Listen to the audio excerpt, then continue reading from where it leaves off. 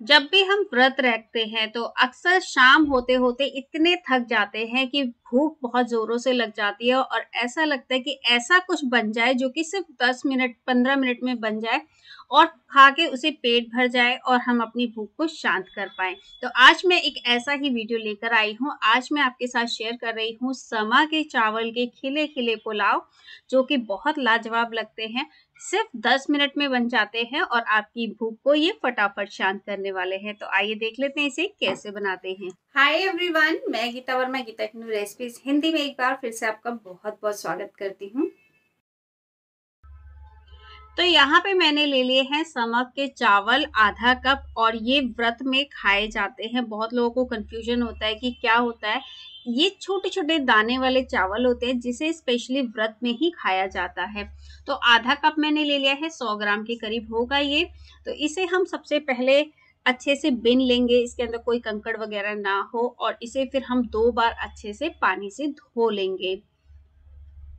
तो यहाँ पे मैंने इसमें पानी डाल दिया है, इसे मैं मसल मसल के इस तरह से दो बार धो लूँगी अच्छे से और यहाँ पे हमें इसे कोई सोक करने की ज़रूरत नहीं है, हम इसे डायरेक्ट बनाएँगे। तो यहाँ पे मैंने दो बार इन चावलों को धो लिया है। अब इसे छोड़ देते हैं, चलते हैं गैस की तरफ़। गैस पे मैंने एक पैन रखा है, आप इसकी जगह कढ़ाई का भी इस्तेमाल कर सकते हैं। एक टेबल स्पून मैंने इसमें देसी घी डाल दिया है। अब जो भी ऑयल या घी यूज़ करते हो, व्रत में वो यूज़ कर सकते हैं। वन फोर्थ कप मैंने यहाँ पे कच्ची मूंगफली डाल दी है और इसे हमें चार से पाँच मिनट लो फ्लेम पे भूनना है जैसे कि मूंगफली जो है वो बहुत अच्छे से पक जाएगी। कैसे पता चलेगा? इसके जो छिलके का कलर है, वो चेंज हो जाएगा तो हमें पता लग जाएगा कि मूंगफली भून चुकी है। यहाँ पे आप देख सकते हैं, छिलकों का कलर काफ़ी डार्क हो गया है तो यहाँ पे मूंगफली बहुत अच्छे से पक चुकी है, इसे निकाल लेते हैं। गैस को मैंने लो पे कर दिया है। अब जो घी है, वो बहुत कम क्वांटिटी में बचा हुआ है, इसलिए मैं एक चम्मच इसमें और घी डाल रही हूँ।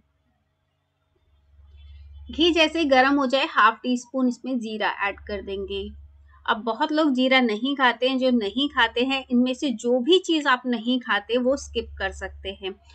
मैं यहाँ पे जो हमारे यहाँ खाते हैं, मैं वही चीज़ें ऐड कर रही हूँ तो मैंने यहाँ पे हाफ़ टी स्पून जीरा ऐड किया है, इसे हम हल्का सा फ्राई कर लेंगे। अब मैं इसमें चार से पाँच हरी मिर्च डाल रही हूँ, जिसमें मैंने दो से तीन हरी मिर्च को बारीक काट लिया है और दो को साबुत काटा है बीच में से। तो ये देखने में अच्छी लगती है।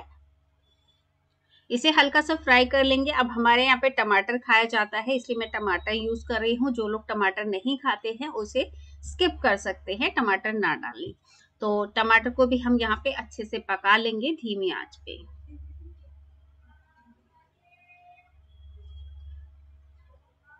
तो टमाटर को भी मैंने भून लिया है। अब मैं इसके अंदर ऐड कर रही हूँ सेंधा नमक, जिसे व्रत में खाया जाता है।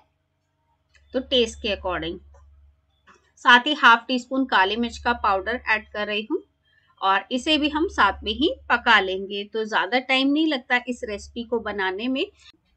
तो जब भी मैं व्रत रखती हूँ और थकी होती हूँ तो ऐसा लगता है कि कुछ ऐसा बन जाए जो फटाफट बने और साथ ही मेरी भूख भी बहुत जल्दी मिट जाए। तो मैं इन्हीं पुलाव को बनाती हूँ। तो यहाँ पे मैंने एक आलू ले लिया है, कच्चा आलू है, इसे मैंने छोटे छोटे पीसेस में कट कर लिया है। ज़्यादा बड़े पीसेस करेंगे तो वो कच्चे रह जाएँगे, पक नहीं पाएँगे तो इसलिए मैंने छोटे छोटे पीसेस कट किए हैं। इन्हें भी हम हल्का सा फ्राई कर लेंगे इन टमाटर और हरी मिर्च के साथ। तो यहाँ पे मैंने एक मिनट के लिए इसे भी फ्राई कर लिया है, इससे बहुत ही अच्छा टेस्ट आएगा। अब मैं इसमें दो कप पानी डाल रही हूँ। आधा कप मैंने चावल लिया था, उसके लिए मैं यहाँ पे चार गुना पानी डाल रही हूँ, यानी कि दो कप पानी का इस्तेमाल करेंगे, क्योंकि ये जो चावल है, ये बहुत ज़्यादा पानी को अब्जॉर्ब करते हैं। तो चार गुना पानी आपको इसमें ऐड करना है। तो यहाँ पे दो कप पानी मैंने ऐड कर दिया है। अच्छे से मिक्स कर देंगे और इसे हमें कवर करके पकाना है पाँच मिनट के लिए, जब तक कि इसमें उबाल ना आ जाए। इसमें देखिए उबाल आ चुका है। पाँच मिनट मुश्किल से लगे होंगे, पाँच मिनट भी नहीं लगते हैं। अब इसके अंदर हम ये चावल ऐड कर देंगे। तो यहाँ पे मैंने सारे समा के चावल इसमें ऐड कर दिए हैं। जो मूंगफली फ्राई करके रखी थी, वो भी इसमें ऐड कर देंगे और इसे अच्छे से मिक्स कर देंगे। अब मैं इसे कवर करके रख दूँगी और इसे तब तक पकाना है जब तक कि इस तरह से पानी थोड़ा सूख ना जाए उसमें आप देख सकते हैं बहुत कम पानी बचा है। अब मैं क्या करूँगी, इसे फिर से ढक दूँगी और इसे लो फ्लेम पे पकाऊँगी। तो तीन चार मिनट में ही इसका जो पानी है वो सूख जाएगा। अब गैस बंद कर देंगे, चावल चेक करते हैं। तो ऑलमोस्ट पक चुके हैं, हल्की फुल्की कसर होगी तो वो भी पक जाएगी। इसे ढककर छोड़ देंगे ठंडा होने के लिए। तो यहाँ पे चावल चेक करते हैं, पाँच मिनट बाद तो पाँच मिनट बाद जो चावल है वो बहुत अच्छे से पक चुके हैं। अब मुझे इसको चेक करने की भी ज़रूरत नहीं है। अब मैं इसे आपको निकाल के दिखाती हूँ। एकदम खिले खिले एक एक दाना अलग अलग इस तरह से ये चावल बनते हैं। बहुत लाजवाब लगते हैं और देखा कितनी जल्दी ये तैयार हो जाते हैं। बहुत ही ईजी रेसिपी है। ये देखिए, बिल्कुल खिले खिले चावल अभी गर्म है, भाप में आपको नज़र नहीं आ रहा होगा।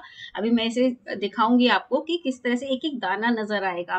तो यहाँ पे मैंने इसमें थोड़ा सा हरा धनिया डाल दिया है और इसे मैं अच्छे से मिक्स कर दूँगी। अब मैं आपको दिखाती हूँ कितने बढ़िया चावल बने अभी यहाँ पे स्क्रीन पे आपको भाप नज़र आ रही है, इसलिए शायद इतना क्लियर नहीं हो रहा है। तो यहाँ पे आप देख सकते हैं एक एक दाना आपको इन चावलों में नज़र आ रहा है। कितने बढ़िया कलरफुल पुलाव लग रहे हैं।